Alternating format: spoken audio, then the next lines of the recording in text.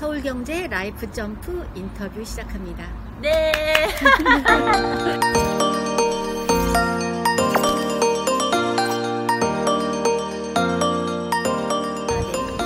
어, 저는 최성연이고요. 요가 수련자고 프리랜서 작가입니다. 사실 정말 특별한 사연이 없어요. 늘 이제 연극하는 사람들은 연극하는 사람들이나 예술을 업으로 삼고 있는 사람들은 이제 아르바이트를 해야 되잖아요. 아르바이트를 소득이 일정치 않으니까. 네네.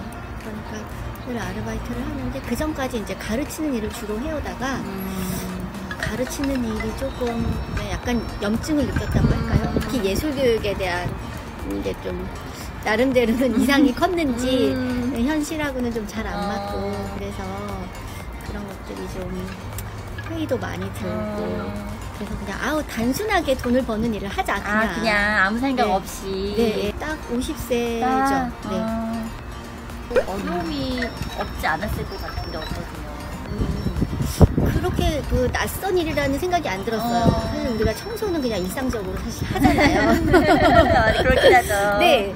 그리고 이제 어, 좀 연극하는 사람들이 사실은 좀 다 멀티가 사실 잘 돼요. 하긴 역할도 이렇게 많이 다양하게 맡으니까. 네네. 그리고 이렇게 뭐 내가 배우지만은 뭐 무대도 같이 만들고 음. 뭐, 뭐 연출이지만 뭐도 같이 하고 막 이런 게 음. 좀 몸에 배어 있는 것 같아요. 그래가지고 학교 다닐 때도 그런 것도 음. 다 하고 뭐 뚝딱뚝딱 이런 일도 하고 막 하니까 뭐든지 하여튼 몸으로 하는 데는 조금 자신이 있고 음. 겁나는 부분은 없었어요. 어. 오히려 막 내가 더 잘할 수 있다. 아. 누구보다 잘할 수 있다. 이런 자신감이 있으셨구나. 어, 네. 왜냐면 아르바이트를 구하려고 막 이력서 내는데 막 음. 다안 되는 거예요. 어, 되는 데가 하나도 없는 거예요. 어. 그래서 아, 내가 정말 여- 여자 나이 50에 음. 진짜 취직이 되게 되게 힘들구나. 음. 제가 뭐 이렇게 좋은 자리에 지원한 것도 아니고 음. 뭐 판매원 뭐, 뭐 이런 거 카운터 보는 음. 거 뭐 혹은 주방일 뭐 어. 이런 것도 다 지원했는데 다 안 되는 거예요. 다 안 되셨어요? 네네. 그래서 어. 어, 정말 간절해졌죠. 어. 어, 그러니까는 그 공고를 보고 시간과 그 다음에 페이와 음. 이제 이런 걸 보니까 너무 좋은 거예요 음. 조건이. 그래서 어 여기 내가 꼭 아, 해야겠다. 해야겠다. 어 그래서 어떻게 하면 할까 그러고서 하다가 이제 어, 이력서도 고쳐야 되겠다 이렇게 어. 생각을 한 거죠. 제가 그런 사회생활 조직생활 많이 안 해봐가지고 음.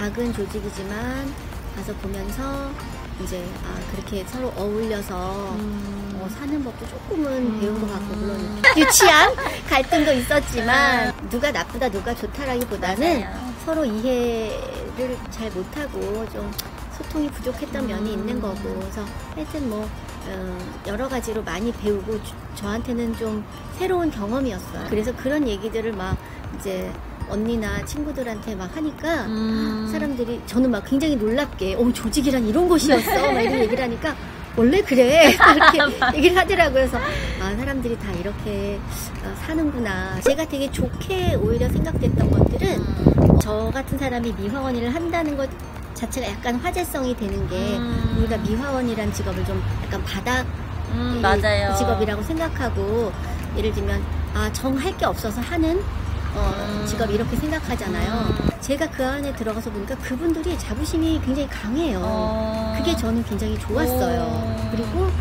그분들이 좀 이제 연세가 있으신 분들인데 어, 내가 이 나이에도 이렇게 몸을 움직여서 내가 어. 할수 있을 만큼 내가 건강하다는 데에 대해서 일단 자부심을 갖고 있고 어. 아유 내가 뭐 정말 이런 일을 하게 되다니 이런 비참한 생각을 절대 하시지 않아요. 음. 그돈 벌 수 있다는 거에 되게 음. 감사하고 음, 밝았어요. 되게 밝고 긍정적이어서 그분들의 자세가 참 좋았어요. 일단 책을 쓰게 됐잖아요. 맞아요. 네. 뭐 뭐든지 할 수 있겠다라는 자신감이 더 어. 생긴 것 같아요. 사실은. 그러니까 두 가지가 동시에 있는 것 같아요. 뭐든지 할 수 있겠다와 더불어 어.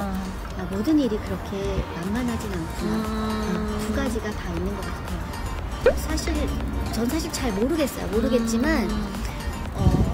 어, 한 가지 조금 제가 확신하는 것은 우리 자본주의 사회에서 이렇게 일이라는 것이 지나치게 과대평가되어 있다. 음. 너무 신성시되어 있다. 일이라는 어, 것은. 일이라는 게. 어. 그러니까 일하지 않는 자는 먹지도 말아라. 어. 그다음에 뭐 근면, 성실 막 이런 음. 것들이 너무 그럴 필요는 음. 없다. 일이라는 것은 필요한 만큼 하면 제일 좋은 것 같고요. 음. 제가 이제 나이가 들어서 그런지 제 나이가 되면 노후 준비에 대한 얘기 음. 그렇죠. 많이 하는데 네, 보험 설계사들은 돈, 그렇죠, 모으, 돈. 모으고 이제 돈 뭐 이렇게 뭐. 예 뭐 그 어쨌든 돈을 많이 모아놓는 거 맞아요. 이런 얘기 하는데 사실은 그거보다도 어떻게 즐겁게 끝까지 즐겁게 음. 어, 가치 있는 일 그야말로 그게 일이 아니라 어떤 그 돈을 버는 일이 아니라 음. 가치 있는 활동을 하면서 살 것인가 음. 그런 문제에서 어, 사실 정말 그 일만 하다가 그러니까 돈을 벌기 위한 일 음. 어, 돈을 벌기 위한 일만 하다가 죽으면 좀 그렇잖아요. 음. 쉽죠. 네, 네.